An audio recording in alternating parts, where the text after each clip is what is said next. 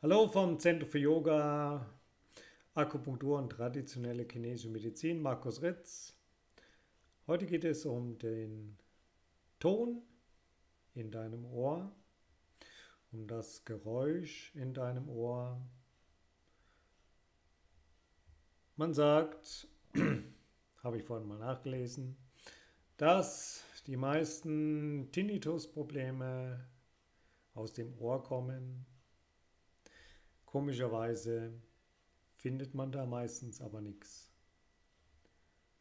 Andere Erkrankungen können natürlich auch zu Tinnitus führen, aber anhand der Zahlen und anhand der Behandlungsmöglichkeiten ist das äh, nicht wirklich relevant für dieses Video.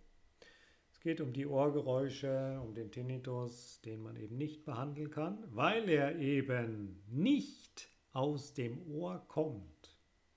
Man hört es im Ohr vielleicht, beziehungsweise die Schallwellen werden dann irgendwie im Hirn verarbeitet und so weiter und so fort. Das ist nicht meine Welt. Dafür gibt es HNO-Ärzte, Fachspezialisten. Aber, wie ich schon gesagt habe, die Definitionen, die Unterteilungen, das, was da steht, Ursache, Möglichkeiten, Behandlungen, Risikofaktoren, Begleiterkrankungen und so weiter, super dargestellt. Aber man sollte sich nicht täuschen lassen. Eine Therapie haben sie nicht wirklich parat. Denn das Ohrgeräusch kommt meistens nicht aus dem Ohr. Es gibt viele Möglichkeiten natürlich. Es gibt äh, aufgrund von Bluthochdruck, aufgrund von Halswirbelsäulenbeschwerden, aufgrund von Nervenblockaden und so weiter und so fort. Doch es gibt noch ganz andere Möglichkeiten. Wie ich es in dem Video über den Teekessel schon gesagt habe, wenn der Stress zu hoch wird, wenn der Druck im Kopf zu hoch wird, wenn die Belastung des Menschen zu hoch wird, dann entsteht wie bei einem Teekessel, konnte ich das Video dazu nochmal anschauen, ein Geräusch, das sagt fertig. Gibt natürlich auch andere Geräusche. Aber dieses ist ein sehr belastendes Geräusch, das Menschen zermürben kann, richtig psychisch fertig machen kann, weil es ein sehr anstrengender Ton ist.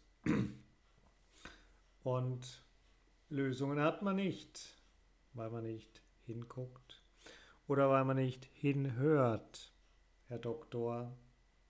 Kann es auch von meinem Stress kommen? Kann es auch von meinen Sorgenproblemen kommen?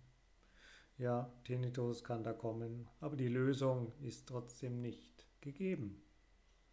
Nicht umsonst gibt es eine Tinnitus-Liga, eben weil es Menschen gibt, die keine Lösung haben die keine Behandlungsmöglichkeiten sehen oder bei denen nichts geholfen hat, eben weil die Thematik nicht aus dem Ohr primär kommt, auch nicht immer von den Begleiterkrankungen, Bluthochdruck und solche Geschichten, sondern diese sind ja auch nur Symptomatiken einer anderen Ursache. Und man könnte auch fragen, neben dem Stress, was möchte man nicht hören? Oder welche Aussagen, Themen dringen immer wieder an mein Ohr und das nervt mich dermaßen, dass ich lieber ein Geräusch im Ohr habe, um das nicht hören zu müssen. Bei einigen Tinnitusarten hat man nämlich auch Hörverlust noch mit dabei, nicht bei allen. Ja, kann man gut austesten, aber wie gesagt, der Mensch braucht eine Lösung. Eine Möglichkeit wäre eben das seelisch-geistige Thema, psychische Thema. Was nervt mich im Leben? Was will ich nicht hören? Und so weiter und so fort. Dann haben wir natürlich auch noch feinstoffliche Ohren, könnte man sagen, energetische Ohren.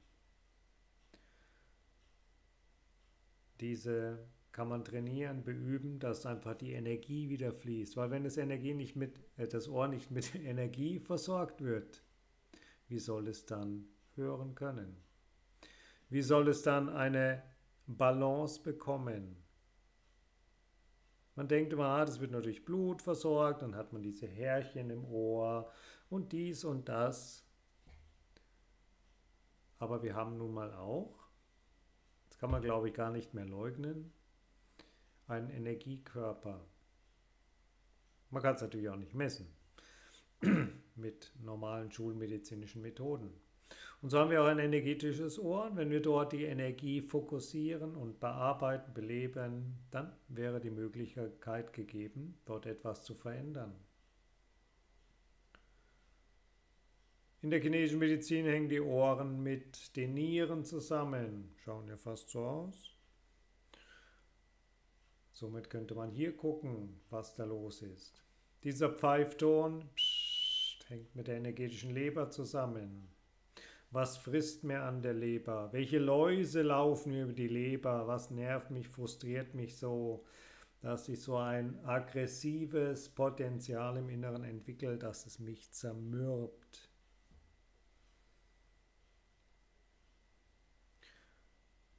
Und das ist eben die Kunst der Heilkunde, die viel mehr Möglichkeiten hat.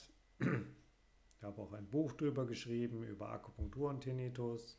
Also es gibt Möglichkeiten. Man muss sich da nicht von Arzt zu Arzt winden, sondern man sollte mal hingucken bzw. hinhören. Wenn jemand sagt, man kann nichts tun, wenn ich nichts finde, kann ich klar nichts tun. Aber es gibt Menschen, die können was tun. Und das ist die Kunst. Das Ego loszulassen und die Patienten woanders hinzuschicken. Nun, ist natürlich im Grunde, so sehe ich das, die Aufgabe des Menschen selber. Wenn man natürlich der Schulmedizin vertraut, denkt, die wissen alles, die können alles, dann kann man den Menschen ja nicht äh, wirklich überreden, was anderes zu tun, sondern er muss erkennen, hey, ich komme nicht vorwärts, die können mir nicht helfen, ich muss woanders gucken.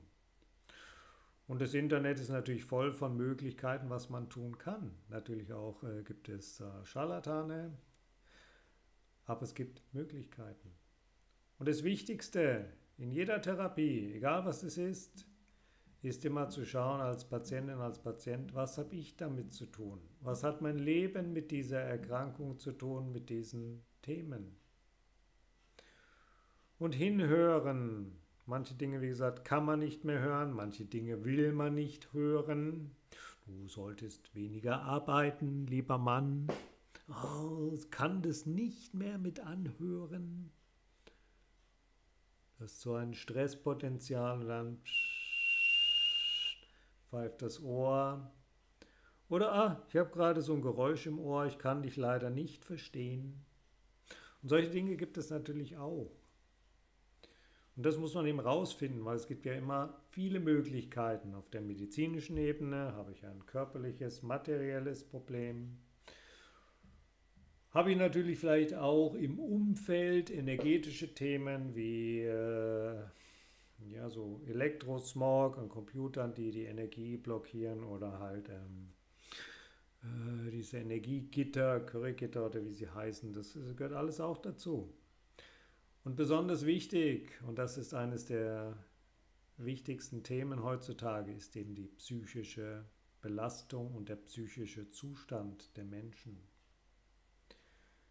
Und wenn man da guckt, wie müsste ich mein Leben verändern, es gibt auch gute Yoga-Übungen für Tinnitus, für Ohren. Man kann immer was machen. Doch wenn man eben nicht sucht, findet man nichts. Wenn man natürlich zu stark sucht, zu viel sucht, dann findet man es auch nicht. So, ihr kennt mich ja fast schon, wie ich darüber denke. Und somit kommt Tinnitus nicht immer da, wo es ist, ist ja auch nur ein Symptom. Denn wie gesagt, die Schulmedizin findet oft nichts. Somit ist materiell, körperlich nichts defekt. Man kann was tun. Und das ist ja das Schöne, wenn nichts kaputt ist materiell, dann kann man immer was tun. Ne? Wenn natürlich das Ohr abgerissen ist, kann ich nichts mehr ähm, sagen, ah, deine Seele. Ja, kann man schon, aber es würde nicht viel Sinn im Moment machen. Das Ohr muss dann angeklebt werden oder so. Und es ist wie immer des Menschen eigenes, was tun zu wollen. Manche können nichts tun, warum auch immer, sind vielleicht so gefangen in ihrem Muster des Tintinitus. Vielleicht ist es für manche auch ein Krankheitsgewinn. Ah, jetzt kann ich das nicht mehr hören. Ach, ich höre nicht mehr so gut, jetzt kann ich diese Tätigkeit nicht mehr machen, weil ich höre nicht so gut. Krankheitsgewinn gibt es auch ein extra Video von mir, dass man diese Thematik braucht. So haben wir hier schon einige Möglichkeiten. Wenn ihr mehr wissen wollt, schreibt mir eure Fragen in die Kommentare oder kommt in die Praxis vorbei, gerne in Nürnberg. Und ansonsten einen wunderbaren Tag, Abend, Morgen, je nachdem, wann ihr das Video anschaut. Und bis bald. Ciao, ciao.